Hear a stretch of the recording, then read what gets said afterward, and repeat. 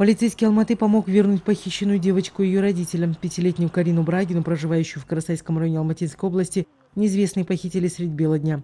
Мама девочки сразу же сообщила о случившемся в районное управление внутренних дел. Параллельно женщина набрала телефон семейного друга своего знакомого, который служит в алматинской полиции.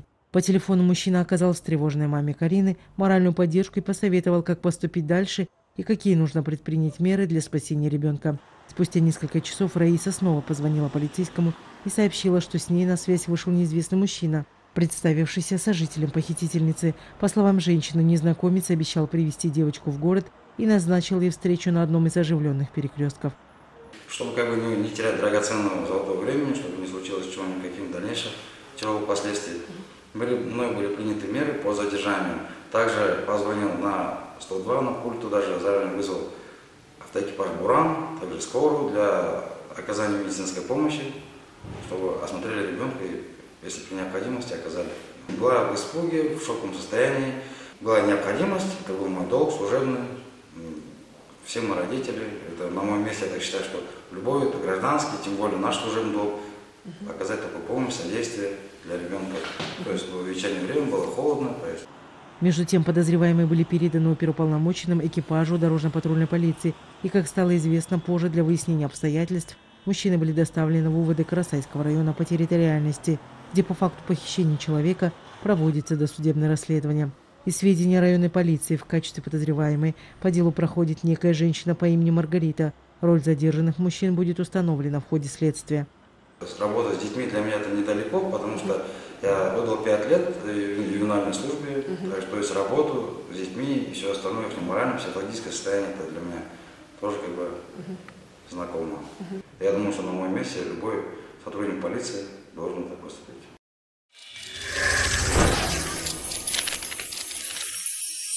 Полицейские Алматы выявили 16-летнюю гражданку Кыргызстана, оказывавшую интимные услуги. Несовершеннолетняя, поданная из соседнего государства, была задержана оперативниками УБОП в одной из гостиниц, расположенных по улице Северное кольцо. Притон, как оказалось, дислоцировался над автомобильной мойкой. Вы откуда приехали? С Кыргызстана. С Кыргызстана. При себе документы имеете какие-то? Нет. А, как, с кем приехали? Ну, у меня соседка была, она вроде сказала, что на барахолке работать и сюда приехали. Ясно. Сколько находитесь в Казахстане уже? Два месяца. Два месяца. Два месяца вы на барахолке работали хоть Нет. Все время здесь, да? Да. А стоимость услуг, интимных услуг ваших?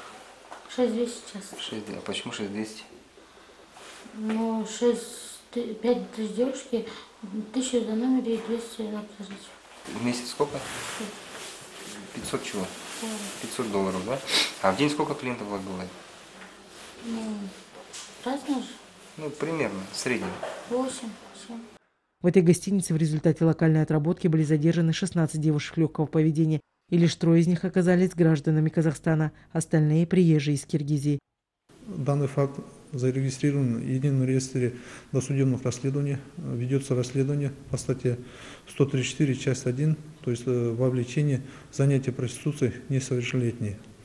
Кроме того, оперативники провели отработку по проспекту Сифульна и улице Сайна. Девушек легкого поведения вдоль проезжей части не оказалось, в связи с чем было принято решение о проведении локального рейда по придорожным гостиницам, барам и другим увеселительным заведениям. Ну, девочки приходят сами по себе тут работают. Я отвечаю только за комнаты, за эту гостиницу. Плюс э, товар вот на мне. В городском управлении по борьбе с организованной преступностью рапортуют, что за 8 месяцев этого года ими были выявлены 76 преступлений, связанных с незаконным трафиком людей. В частности, 4 факта продажи человека, еще 12 торговли несовершеннолетними, 27 сводничеств, 30 фактов организации содержания притона и 3 случая вовлечения в занятия проституцией. В текущем году оперативники на специальный учет поставили 95 человек, 80 из них девушки легкого поведения, еще 15 – сводники.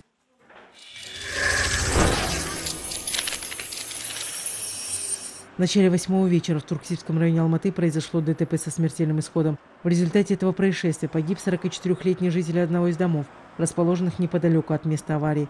Согласно полицейской сводке, автобус марки «Мерседес» 114 маршрута, которым управлял 35-летний мужчина, следовал по проспекту Сифульна на юг. Южнее улицы Жумабаева мужчина увидел человека, который стоял посреди проезжей части. Но, увы, избежать столкновения с ним водителю общественного транспорта не удалось. В результате открытой черепно-мозговой травмы, а также множественных переломов пешеход спустя два часа скончался в 4 городской клинической больнице. ДВД сообщили, что по данному факту уже начато досудебное расследование.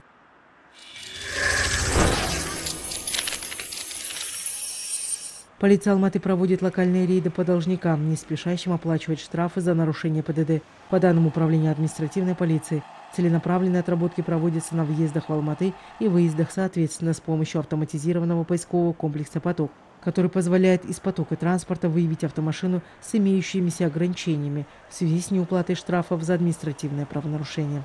Очередным местом дислокации межведомственной группы сформированные из числа полицейских, сотрудников прокуратуры, представителей Департамента государственных доходов, а также стражей порядка Алматинской области, стала улица Жандосова по направлению на восток. Дорожная патрульная служба. Вчера поступать. Штрафы, если повинить целях неотвратимости наказания за совершенные административные правонарушения в области безопасности дорожного движения Департаментом внутренних дел города Алматы проводятся совместные мероприятия, направленные на выявление должников, не уплативших своевременные административные штрафы, а также в отношении водителей, управляющих транспортными средствами с подложными госномерными знаками без государственных номерных знаков и иные нарушения правил дорожного движения. В рамках этих рейдов предусмотрена активная праворазъяснительная работа среди водительского состава, вручение им уведомления о наличии взысканий за нарушение ПДД. Отметим, что с момента получения данного документа на руки водитель обязан погасить штраф в течение 30 дней. Известно, что за два дня проведения аналогичных рейдовых мероприятий сотрудниками полиции были выданы водителям 104 уведомления с требованием обязательного погашения административного штрафа, а также неукоснительного соблюдения правил дорожного движения отыз үшіне бүгіннен бастап осы размен сізге оны хабарландырамын онда плюс міндетті міндетті чтобы своевременно оплачивали соответствующие наложенные административные штрафы, указанные сроки административного законодательства.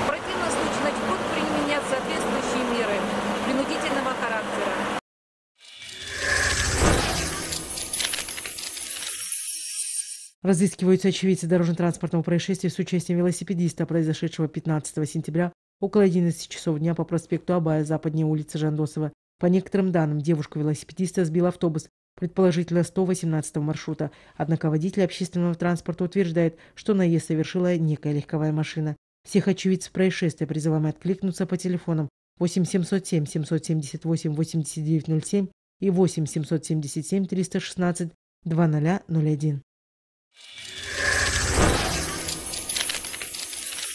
Давай, Коня, когда я скажу «гай», прячься. Гаи. Молодец.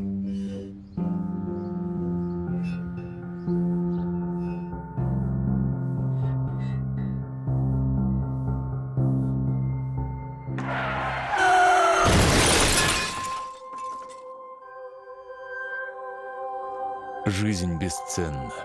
Пристегнитесь всей семьей. Центральная Азия без потрясений. Защити себя, детей и дом. По данным Центра оперативного управления Департамента внутренних дел Алматы, за минувшие сутки в городе были зарегистрированы 179 преступлений и происшествий. 93 из них раскрыты по горячим следам, в том числе 4 грабежа, 132 кражи чужого имущества, 15 хулиганств. Зарегистрированы 18 дорожно-транспортных происшествий, 22 человека травмированы.